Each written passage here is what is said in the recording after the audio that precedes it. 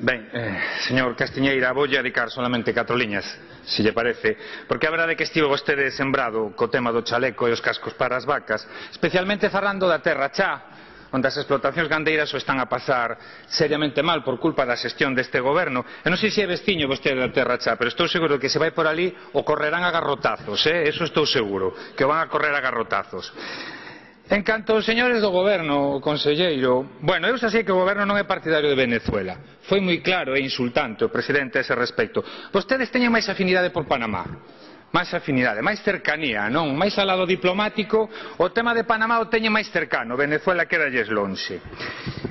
E algunhas aclaracións. Mire, cuestión prioritaria, a seguridade AGE solicitou as certificacións da Axencia Estatal de Seguridade Aérea e da Axencia Europea de Seguridade Aérea hai máis dun ano. Seguimos agardando. Se estamos a falar da realización de voos experimentais con avións non, non tripulados, creemos que o mínimo é aportar as certificacións de seguridade. Creo que, creemos que a cidadanía terá dereito a ter acceso a que se cumplen todos os requisitos.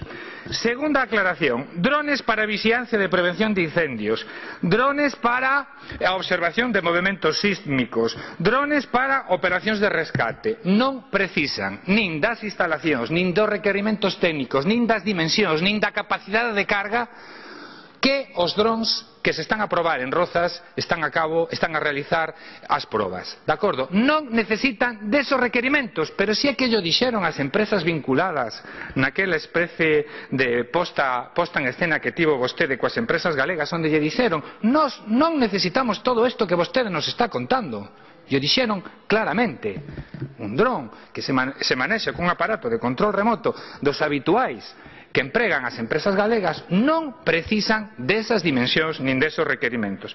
Solucións xurídicas. Falou vostede, utilizou unha palabra que me fixo moita gracia. Adoptamos unha solución xurídica innovadora. Bueno, é unha curiosa forma de chamarlle a prevaricación, porque facer o Ministerio de, de Defensa xuece parte nun concurso eh, de concorrencia competitiva ten tela, que eso se lle chame unha solución xurídica innovadora. Innovadora para o Partido Popular non é, porque é a forma habitual que tende a xudicar os concursos ás empresas afíns.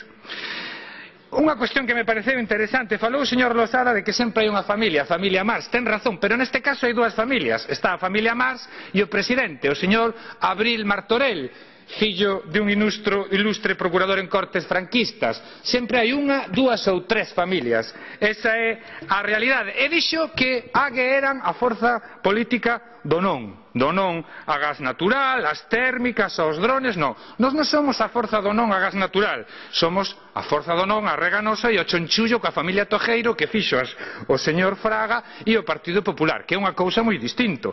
Nos non somos a forza de non ás térmicas, dito así, en bruto, sino somos a forza política en contra dos chanchullos con Fenosa, a familia Barria de Maza e a explotación dos recursos públicos de Galicia a custe cero e por riba do lombo dos galegos e das galegas. E nos non somos as forzas do non para os drons de uso civil, senón que somos o grupo do non a operación púnica e da entrega de diñeiro público a Indra implicada en pagos en veo Partido Popular. En definitiva, AG é a forza do non o espolio dos recursos públicos dos cidadáns. Claro que sí, que somos a forza do non do espolio aos recursos públicos dos cidadáns. Porque iso é o que vostedes se adican. Non sei como ten, dende logo, a, a desfachatez de falar de transparencia. Miren vostedes o, o transparentes que son. Vostedes quedaron obligados, no mes de abril do ano pasado, cando aprobaron a lei, esa lei da boa xestión da administración, a crear un Tribunal de Contratación Pública de Galicia. Pois ben, pasado un ano, pasado un ano, seguimos sin contar con este Tribunal de Contratación, que sería unha ferramenta eh, excelente para poder ver se vostedes son tan transparentes como se gaban de ser, porque a realidade é que non o son.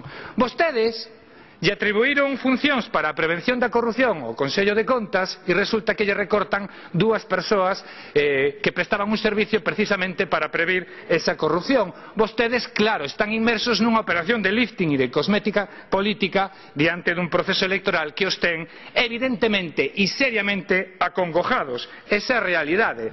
E, por favor, señor conselleiro, non minta Claro, a SEPI ten as accións de Indra, eso é evidente. Tamén ten, evidentemente, as, a titularidade de Navantia, pero a dependencia orgánica é do Ministerio de Defensa, tanto de Navantia como de Indra. O me imagino que vostedes o saberá, cando menos eso o saberá. Non mezcle unha cousa coa outra. Evidentemente o accionariado, claro que é da SEPI, pero a, a dependencia orgánica e política, a titularidade política de Navantia e de Indra é de defensa, e vostede o sabe. Non non o agoche, non o oculte. Dúas preguntas moi concretas, moi concretas. Que interese pode ter o Ministerio de Defensa na investigación con drons para uso exclusivamente civil? Me gustaría que me explicara, porque é unha entelequia que a mí me costa entender. Por que o INTA un organismo dependente directamente do Ministerio de Defensa ten tanto interés en investir recursos eh, non só económicos, sino tamén eh, recursos persoais e humanos, en na investigación dirixida únicamente ao uso civil. Me costa moitísimo entendelo. A millor hora o Ministerio de Defensa se quere convertir nunha especie de ONGD, verdade, adicada, verdade, a vixiancia contra, non sei, eh, as manifestacións ou non sei, non sei. Quero que me aclare porque a min tamén me preocupa os usos civiles que vostedes entenden que pode ter o Ministerio de Defensa. Segundo, como é posible que un sector no que se prevé un incremento do volume de negocio de noventa mil millóns de euros nos próximos dez anos iso son o que dicen os datos oficiais pode necesitar do apoio do goberno Por que? Porque é un volumen de negocio tan importante, unhas multinacionais con tantos recursos necesitan de 20 millóns de euros do goberno galego, cun volumen de negocio previsible, como lle acabo de decir. Non será que se estarán a sanear as contas de empresas públicas primeiro privatizadas polo PP e logo voltas a facer públicas outra vez polo Partido Popular co diñeiro de todos os galegos. Non dixo vostede ninguna sola verdade, fixo solamente argumentación periférica, pero a realidade, a realidade que vostede sabe que eu non vertín nin un solo dato que non fora verdade, non o pode desmentir. Mas nada. Gracias, señor Vázquez, Grupo Parlamentario